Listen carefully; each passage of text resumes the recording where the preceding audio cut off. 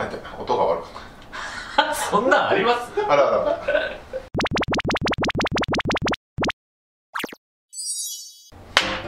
どうもトモハッピーです。はい。今日はですねスーパースペシャルウルトラアルティメットゲストはいマジック・ザ・ギャザリングプロプレイヤー昨シーズンの、えー、年間ランキング日本一位ゆくひろ健選手にお越しいただきました。はいよろしくお願いします。ハードル上げすぎじゃないですかちょっと。まあまあまあ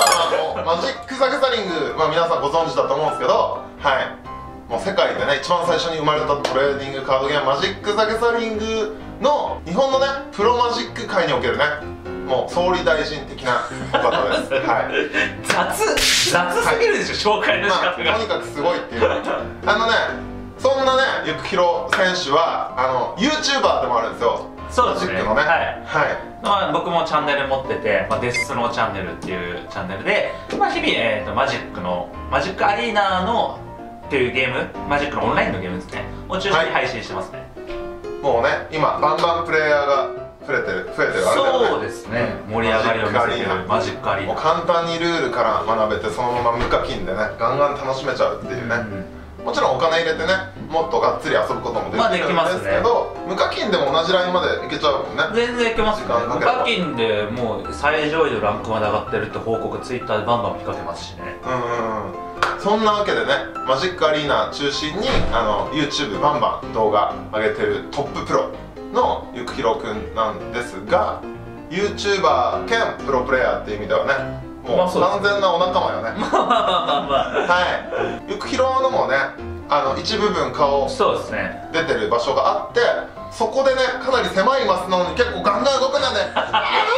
ー」とか言って「キャー」とか言って配信見に行ったら結構普通にマジック知らなくても面白いんでねぜひ見に行っていただきたいんですけどはい。なんか普通に一緒にいてあのかなり楽しくて早くやりたかったんですけど結構プロなんで僕よりももうちゃんとしたいやいやいやいやまあ今第一線で活躍してるからまあ時期の問題ですよね、それは僕今すごい、まあ、活躍させてもらってますけどまあとまるさんももうだって一昔前っていうまあそうだ10年最悪10年ぐらい前や まあでもものすごい僕がその始めた頃は本当とまるさんもトッププレイヤーだったんですごい憧あありれでしたがとうございます。懐かい。しい。なそういう時代もあったなみたいな。プレイヤーオブザイヤーっていうその年間で一番強いプレイヤーになったねこともあるし。とままるさんはやっぱ尊敬する。あいやそんなそんななんか俺それそのモード弱いな。押すのはいいけど。押すのはいいけど押されたらもうガード力のなさを押してねごまかすっていうねなるほど。タイプの俺 8H クリーチャーみたいな。じゃあ今日はちょっとちょっとねちょっと僕攻めて。鍛えて鍛えていきたいと思います。はい。ちょっとねあのこういうおしゃべりがねもう本当に楽しいんです。よおしゃべりしてて楽しいから なんかもう自然体でいこうかななんて。まあ、今日はねちょっとじゃあワイワイや思ってれたらいいるんですけどかなと思うんですけど。はい。はい。ちょっとさあの見てる皆さんあのゆくひろけんさんまだ今現役プロプレイヤーでトッププレイヤーで、はい。YouTuber っていうことは分かったと思うんですけどあの今までのなんかこうマジック始めてきて、はなんかゆくひろけんって他にはこんな感じっていうのをちょっとよかったら視聴者の皆さんに自己紹介的なね簡単なそうですね。教えていただけたら。まあ僕はマジック始めてまあ10年ちょい経ちますけど、まあ、ここ4年 ,4 年ぐらい前かな？に東京にあの来てまあ東京で今マジックさせてもらってるんですけど、まあ、っていうのをまあそのアイアンワークスさんっていうところに、まあ、そのスポンサーとしていただいてでまあその援助してもらって、まあ、そこでまあプロとしての活動を、まあ、東京でずっと4年間続けてきて今まあちょうどそれが実を結んでまあすごい最先端で活躍させていただいていましてでまあ今その日本における、まあ、プロの中でも、まあ、去年は一番ね。の活躍をすることができた。一番。はい。世界だと何番だった？世界だと去年の日本で一番は世界では何位だったのかっていうのはなんか知らない方は結構あでも多分分4番目とか5番目とか。おお世界5本の指、はい、日本1位だったそうですまあ、去年はそうですね。まあでも僕の、まあ、実力ももちろんあるとは思うんですけど、はいまあ、それだけじゃなくてやっぱその他に今チームメイト武蔵っていうグループで、うんその、うんうん。マジックの調整グループというか。そうか翔太そうとかね有名な他にも、はい、有名なプロの人たちもたくさんいて、はい。まあ、去年はその人たちと一緒にずっと1年間研鑽積むことができてなんか1位になれたなっていう実感があるので、まあ、一人の力じゃなくて結構カードゲームっていろんな人とやること大事だよっていうのがなんかより1年去年は実感できたなって感じがありましたね。結構ねこれカードゲームの選手ではあんまりないんですけどこう肉体的な怪我とかね故障にも悩まされてきたあーありましたね。そ前の東京に来る直前ぐらいの1年間が僕もう絶不調で、うん。でも腰をまずヘルニアで悪くしちゃってでなんかそれ僕的には影響ないなと思ってたんですけどでも実際にやっぱどんどんそのトーナメントの成績悪くなっちゃってもうプロもやめちゃおうかなと思ったタイミングで、まあ、ちょっとそのアイアンマークさんから、その東京に出てこないかっていうお話をもらったのがきっかけ転機だったんでまあなんか縁もやっぱ大事だなみたいなやっぱもちろんこうなったのも、まあ、僕があ諦めずに最後までやったずっとやってるっていうのもあるんですけど、まあ、やっぱそれ運もあったなと思いますね。本当に辛かったのが腰の時さ、はい。プロのレベルも落ちちゃったんですよねなんか。そうですね。全部の世界大会出れるランクから1個下に落ちちゃったん落ちちゃいましたね一回ね。ね1回しか出れないみたいな。そうです本当はね通年出れるやつだったんですけどまあレベルが下がってその全ての大会に出れない、まあ、シード権みたいなのが要はなくなったっていう感じですかね。あの時辛かったでしょ？まあ辛かったですね、まあ、正直そこでもう他の人たちからも、まあプロを辞めて他のちょっと手に職つけた方がいいんじゃないか別のちゃんとちょっと仕事に打ち込んでみないかみたいな話もちょっといただいてはいたんですけど、まあ、どうしてもやっぱちょっと諦めきれない部分があって、まあ、最後ちょっとチャレンジしてみたいなと思ったタイミングで、まあ、運よく勝つことができて、そこでやっぱレベルの待遇がまあ戻って、まあ、今みたいに、まあ、ちょっとそこからずっと勝ち続けることができたんですけど、まあ、やっぱ諦めない気持ちというか、まあ、自分の中のモチベーションが何なのかってそこで再確認できたのはすごい良かったかなと思いますね。あでも東原さんとはね本当もう長いですからね付き合い自体もう。僕がうん。トーナメント出て海外とかで行き出した頃からもうずっとお世話になってるんで、いやいや長もうね最初会った時はねとんでもない野郎だったんですよ。お互いハッピーとかってよりなんかこうあるじゃないですか。こうカードゲーム界隈特有のなんかこういじりコミュニケーションみたいな。あれがどぎついタイプだったんですよねゆきひろに対して。ねまあ確かに。まあまあどぎつかったでしょ、まあまあ確かにきつかったね。まあまあきつしかかったも森カツとセットで来るもんね、まあまあ森カツってその似たようなやついるんですけどセットで、まあまあまあセットでだいぶ、うんあれせ洗礼だよねあれむちゃくちゃ新言われてる参プロの洗礼。えいじめとかじゃないですよいじめとかじゃないですよコミュニケーションがちょっと手厚すぎるみたいな。そうもちろん僕もまあそれ本気で言ってるとかいじめてややろうっていう気持ちがあるのは分かんないですけど全然なくて。まあまあまあ結構言葉きつかったですけどね。覚えてないけどきつかった記憶だけある。僕もね何に言われたかは覚えてないんですけどまあ割ときつかったからそういろんなその先輩とそういうのを考えると立ち位置的なことも含めて考えるときちいなみたいな。まあでもその嫌な感じは全然なくてまあ仲良くなりたいからそのちょっと距離近く接しちゃったみたいな。なんかむしろ僕結構なんかこのこの感じから伝わらないかもしれないですけど 結構あの人見知りするタイプなんです意外と。え？でマジですマジです。そうなの？でも結構なんかその知らない空間に行くと初めての人とか多いとなんかもうどうしていいかよく分かんなくなっちゃうタイプなんですけど、はいはいはいだから結構友原さんみたいにグイグイ来てくれる人がいると、まあ、楽なんですよ逆に。だからすごい救われたところはありましたよ。まあでも分かる。俺もグイグイ来てくれる人の方が楽。楽ですよね自分怒んないタイプだから、はい。楽なんだよね。そのうん来てくれて仲良くなる人とは早く仲良くなれるし仲良くならない人とは早く仲良くならないのが分かるから、まあすげえいいそういう人。まあ、距離感もやっぱそのね掴みやすいというかグイグイ来てくれた方がありがとう。ございます、フォローありがとう。ありがたい。いやいい子なんだよいやい子なんだよ。いや本当そういう意味では本当ね助かったなっていう一ま番。あなんか先輩後輩っていうかなんかちょっと弟みたいな。えちなみにあのさっきから話にちょいちょい出てるマジックプロリーグって、はい。まあ、僕ががざっくりまず説明すると今度新しく始まったんですよマジックプロリーグって。あの年間にね契約して800万円とかもらえちゃうんですけどその選手たちは。世界で32人しかそのマジックプロリーグにはそうですね。32人で世界の中で32人。プロって定義が曖昧じゃないですか。カードゲームのプロプレイヤーって何やねんってなるじゃないですか。例えば職業カードゲームプロプレイヤーって書いてても、うんうんうんえ何？みたいな。それいやプロ野球選手っつったらもう分かるじゃないですか、まあ、どっかの球団で野球やってるんだそうろなだね。みたいなでお金もらってるんだろうなプロカードゲーマーって想像つかないじゃないですか。どういうことをしてお金をもらって暮らしそもそも本当にプロなのかみたいな。プロって何やねんみたいな。確かに確かに。でも新しいもんね。その今回、うん。その枠組みとして決まったマジックプロプレイプロリーグははい。年間その契約で、まあ、要は年俸制みたいなもんですよねで800万ぐらいもらって、でまあその大会でカードゲームをプレイしてその上でさらにその勝ったらインセンティブプラスで賞金がもらえるっていう仕組みなんでなんか今までその肩書きとしてプロプレイヤーってあったんですけどその、まあ、ぶっちゃけ人に言う時に胸張って言えなかった部分があってそれでまああ飯は一応食えてはいるんですけどー確かに。まあ性がある仕事かどうかっていうことに関して言えばまあそんなにやっぱ将来性があるかどうかっていうのは胸を張って言えなかったことはあるんですけどまあ今回のやっぱそのプロリーグに入れてることによって明確にその夢があるような職業につけたなっていうイメージがすごいあって確かにね。もう人に胸張って、僕は今年間で800万円もらってさらに勝てば勝つほど賞金ももらえてみたいなちょっとほ他のねスポーツ選手みたいな誇らしく説そうそうそう明そうできるっていうね。職業に今ついてますよって人に胸張って言えるようになりましたね。いやでも本当そうだよね以前と比べたら、はい。俺もなんか前動画でも僕も喋ったことあるんですけどあの以前はなんかこう100人ぐらいがふわっとしてる状態。まあ上5人とか10人は結構いい収入を得るけど、上位100人ぐらいがこうつかず離れずぐらいのなんか自分は暮らしていけたりギリギリ厳しいかなとか、まあそうですね、どこまで行ってもやっぱ趣味の延長うんうんは上でしかなかったかなというかやっぱり。そうだよねそうだよね、うんその100人中の下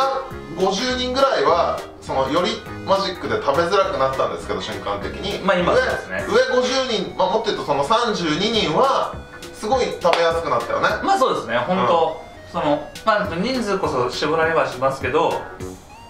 ぱり夢があるね。うん、感じにはなったのでまあその昔と今でその昔やっぱ幅広い人が安定感ある感じでねその収入があったんですけど今まあトップ層その32年にフォーカスしてその人がもうがっつりちゃんと夢があるその収入が得られるっていう部分でやっぱちょっとだいぶ変わっちゃったんですけど、まあどっちもまあいいところはあるんです。けど、まあ、今の僕その選ばれた身からするとまあちょっとありがたいな。といや俺もそっちの方がいいと思う。選ばれなかった側なんですよここに LINE あるんですけど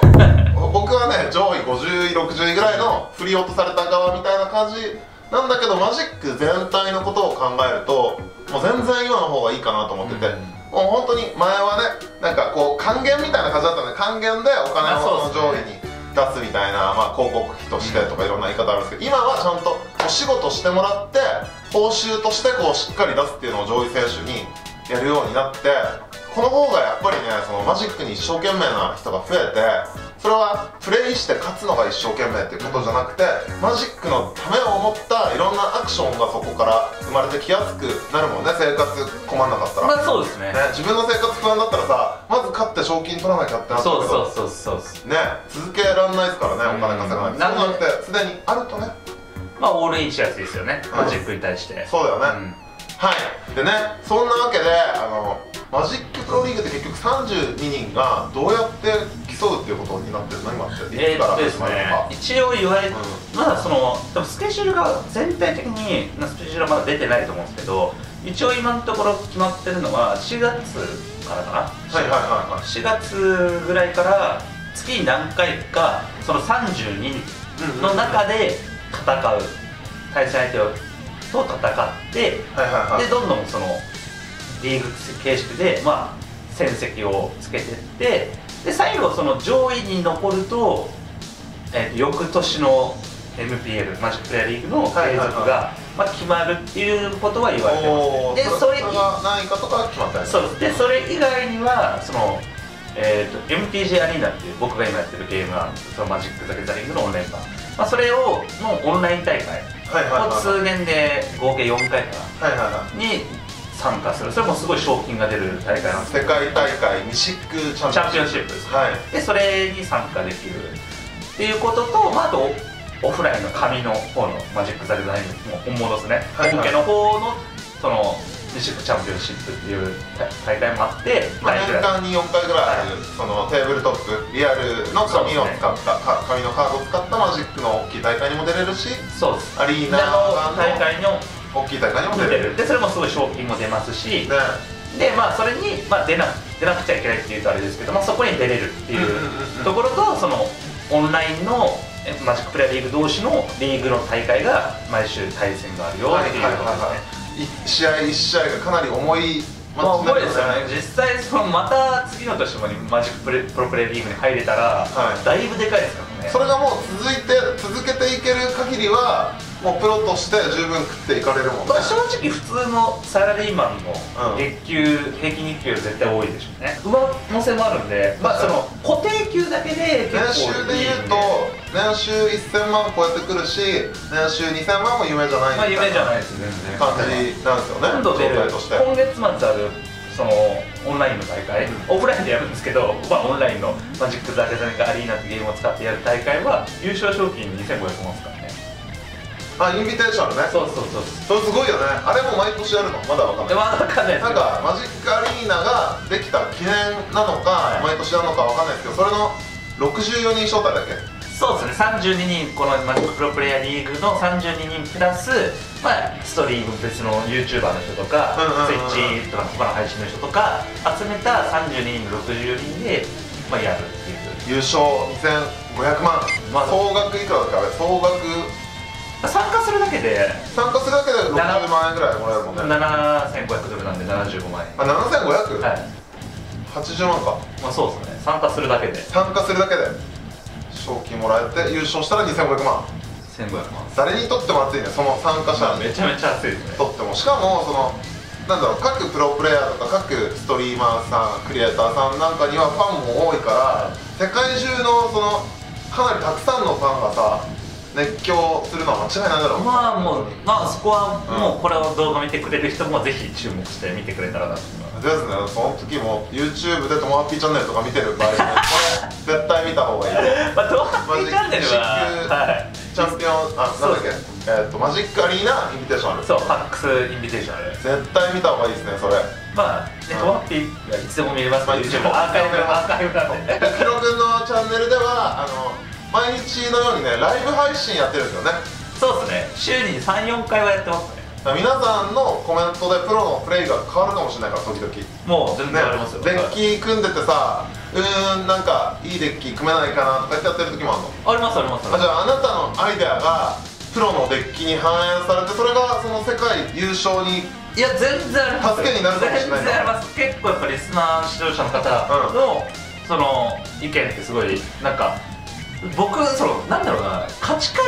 って人それぞれじゃないですか。だねもちろんね。でなんかその価値観にいいも悪いもなくてその多様な価値観があるだけなんでそこからその僕がその選ぶというかだけなんでその価値観の数がすごい大事なんですね。だからリスナーの人が本当にもう書いてくれるだけですごいありがたいですことで大事だと思うね価値観。本多様価値観の多様性の受け入れね。当そうそうそうそう。もう受け入れない人からしたら価値観って少ししか種類ないんだけど受け入れる人からすればめちゃくちゃ種類あるよね。そうなんですよ。ありとあらゆる事象に対して。自分にないものなんでまあそれはもうみんながその初心者であるとかそういうのはあんま気にしなくて全然ガンガンコメントくれたら、まあ、もちろん全部に対してちょっと返せないかもしれないですけど、まあ、それはね、はい。ゲームやりながらやりながらだから。まあでも全然その参参考にさせていただいてる部分は大きいですねコメント指導ですね。指導楽しいことがぜひぜひ起きるかもしたれないらありがたいです。はい、はい、マジックプロリーグ。の話に戻るとそのまあ1年ごとに選手入れ替わっていく中で、はい。何年ぐらいやれそう、僕っすか？うん、いやー。そこ自分的にも気になるし当然意識していかなきゃいけないとこだと思うんだまあけ最低でも3年はやりたいと思ってますね。ど、いける3年はやりたいやりたいそのために頑張るやりたいですね。3年やってもうがっつり稼いだら、まあその後もし入れなくてもまああその後しばらくは暮らしていく復活まで持つみたいな。そうそうそう。3年はでもとりあえずやりたいなと。思ってますやっぱその選ばれたのはすごい光栄ですけど、まあ、それに対してやっぱ僕も真摯に受け止めて頑張って努力して報い報いていかないと、まあ、その結局翌年になってダメだなってなるのが、まあ、目に見えてるんで、まあ、そこはもう今年頑張って1年頑張りたいなと思った本当にマジックやってきてその今実を結んだけど依然としてさ、はい。頑張り時なわけだね、まあそうですね。今まで以上に頑張り時な、まあ、単純に本当運が良くてそれはもう僕がその活躍してる時期とこのプロリーグの発足がもう完全にかぶったんで、まあ、ここのきはもう逃せないぞっていう感じです。覚が嗅覚があったな。たまたまたま完全にたまその話が電話できた時僕何を言ってるか全然分かんなかったですね。え？っと思って。年間7500ドルの契約がしたいって言われて。あそうかそうか。もう発表されるよりだいぶ前に本人たちには言えないものの連絡が連絡があって電話があって7500ドル契約だよって言われて、いやえ桁おかしない？と7500え？え？って桁おかしない？確かに。7万5000ドルだ7万5000ドル。すごいなんか湧いて出た朗報朗報っていうかもうハッピーニュースすぎるよね。まあそうそう。うん。そうか。だって今まで大会出て、うん。その本当かすごい位が高い大会出て優勝して500万とかだったのにもちろんそのなかなか優勝できないですよ。そのもうプロが集まってきた大会で400 400人500人の中で1人1位のみが500万円みたいなのが年に何回かあるだけだったのに、その大会で優勝しなくても750万円やばいやばいな。もらえるっていう話じゃないですか、まあお仕事だからねでもお仕事したら報酬もらえるけどそうそうそう。いきなり高いなみたいな。結局今僕そうやってそのたまたまその偶然偶然ですけど本当に。まあこういう機会をもらえたんで、まあ、今全力出してまあその機会に乗乗ろうかなとまあ思ってますね。今でもさ全力で頑張んなきゃいけない時期じゃん本当に、はい。そんな時にこんな「ともハッピーチャンネル」来て遊んでていいの？ともはるさんめちゃめちゃ押してスケジュールもガッて抑えた。来週この日でお願いしますみたいな。違うその口頭で話してて LINE 確認を抜くと いや確かにあのまあグイグイ行ったのは間違いない。えだってゆくひろのチャンネルとかもっと見てもらいたいしいやまあそうそうマジック的にめっちゃいいんでそれは。みんな見てくれたら面白いと思うしマジック的にもそのマジック楽しむなら、まあ、見といた方がいいチャンネルなまあのそうですよね。だから結局トップですよ。日本1位が YouTuber なんですよ。だからこれゲーマーでいうフェアリープロジェクトさんみたいな感じだから。ちょっとそれは僕も分かんないですけど。まあけ結局そのまあ動画僕 YouTube もすごい大事にしてるんで、はい。まあこれはそのプロリーグとはまあ関係ないですけどこのコラボ自体は関係ないですけど YouTube としてはすごい大ありなんで、まあ、すごいこういう機会いただけたのは僕はありがたいなと思いますよね。まあそんな感じで、ははいい今本当にねさらにさらに頑張り時なゆっくりそうですね。なんですけど、ちなみにこのあと、まあ、マジックプロリーグ立ち上がったばかりのマジックプロリーグはこの後どんな感じに変化していくと思う？そうですね。まあ今年はまだ出来上がったばっかりなんでその今年1年そのまあチャレンジというかそのウィザーズ・オブ・ザ・コーストからしてもチャレンジの年だと思うんですよね。1年そのプロリーグやってみてどうなるかとか、まあ、僕も参加してみて実際どうなるかとかすごいチャレンジの年になると思うんで、まあ、今年終わったら、まあ、翌年はこのフィードバックを得て、まあ、またさらに進化したマジックプロリーグになると思うんで絶対良くなるよね。絶対良くなるスタートしたてでいろんなアイデアとか問題点とか出てきまくるに決まってる。そうなんですそうなんです発足したばっかなんでまあ来年はもっと良くなるはずなんで、まあ、今年1年はなんかまあそのやっぱちょっと問題とかちょっとあるかもしれないですけど、うんうんまあそれでまあ絶まあでも楽しいのは間違いない。その上で。32人世界32人のその腕前を競う場をもうみんな見れるわけなんで。いやめちゃくちゃ楽しみだ。よそれはもう絶対楽しいはずなんで、まあ、それ込みで今年はまあチャレンジとかすごい楽しい中でチャレンジしていくって、まあ、翌年はまあどんどんどんどんその去年のフィードバックを得てまたさらに進化したプロリーグになっていくと思うんでまあもう期待しかないな本当にそう。これがもうマジック・ザ・ギャザリングのそのいいところっていっぱいあるんですけど最初に生まれたトレーディングカードゲーム25年続いてるってのはもうめちゃくちゃそこのポジション取ってるもんね。そこのアドバンテージ出てるもんね。そしてまあ多様性がすごい、ねうん。遊び方の多様性がすごくても大好きなんですけど。あれだから始めた人はやっぱそこに驚く人多いですね。結構自由度が高くて面白いっていう人もいますし、まあ、そこはやっぱ魅力かなと思います。けどマジックを生涯の趣味にしてもいい、まあ、全然問題ないと思うっていうぐらいおすすめできるんでそこはやっぱねやっぱプロリーグも始まりますし結局そそのこからマジ興味持ってッくれる人増えたらいいなと思いますけど。クマジック全体の未来がすごい明るいからそのマジックプロリーグに関してもすごいこの後明るそうな気はするよ。ねまあしますね僕は。賞金とかさ、優勝1億とかさ年間最低3000万円とかになってくんじゃないの？まあ、全然あり得る話だと思いますよ、ね。まあ、今年の1年やってみて、まあ、どうも次も絶対良くなるって話だったら、まあ、なると思います、まあ、もうどんだけ盛り上がるかなんでまあ僕もその盛り上がりにまあ貢献できたらそうだよねなとは思いますけど、第1期メンバーとしてどういう意識でどういうアクションができるかっていうのははい。すごい大事だしもちろんどういうフィードバックできるかっていうのも大事だしその観戦して楽しむ皆さんもぜひ楽しむだけじゃなくてマジックとかこのプロリーグの発展にもつながるんでどんどんねツイッターとかで意見とか感想を言ってもらえたら嬉しいし、はい。それこそが盛り上がりにつながると思うんで、はい、第1期のねあのプロリーグプロだけじゃなくて MPL メンバーだけじゃなくて第1期の感染者なんで僕たちは。確かに確かに。はい、だからみんなで盛り上がってそしては盛り上げていきましょう。ね。まあでも総理。ゆきひろ総理。期待してますよ。この国はいやこの国かわかんないけどマジックプロリーグはあなたにかかってるんで。まあでもまともに一番まともに目見れなかったです。け ど強すぎて。思いが強すぎて。思い強い本当に期待してる。あの応援してる。はいありがとうございます。あ本当にねあのマジック一番強いかどうかは、まあ、その時その時の大会大会とかコンディションにもよると思うんですけどでもそんな中でもうタレント性で言えばこうムード作りとかマジック盛り上げ力で言えばもうねゆくひろのケンちゃんが圧倒的1位な気がする。ありがとうございます。ま あそうそう言われて悪いだと思ってるんでっていうほど外国人選手全員知らな。かったそこまで分かんなかった。リード・デュークとかもねやっぱハンサムでさ、まあそうですね。なんかいろんなねハンサムな選手とかユニークな選手もねやっぱりいるんで、まあそうですね。まあ、でもかなりゆくひろにかかってると思うなやっぱりその、まあまあそもそも日本明るさ明るさをね。まあ日本の人向けの配信ってあんまりないので、まあ、そこはで言えば、まあ、僕の配信とかをちょっと注目してくれると嬉しいですね。はいということでゆくひろ応援してる頑張ってありがとうござい。ますはい。というわけでこの後も何本かコラボ動画お届けさせていただく予定です。はい今日面白かったっていう方はチャンネル登録高評価コメントなど両方のチャンネルねぜひゆくひろ選手のチャンネルゆくひろ君のチャンネル概要欄載せとくんでこれからだったりこれからもだったり。両方ともね応援よろしくお願いします、はいお願いします。というわけで、えー僕友達と池井健でした。ご視聴ありがとうございました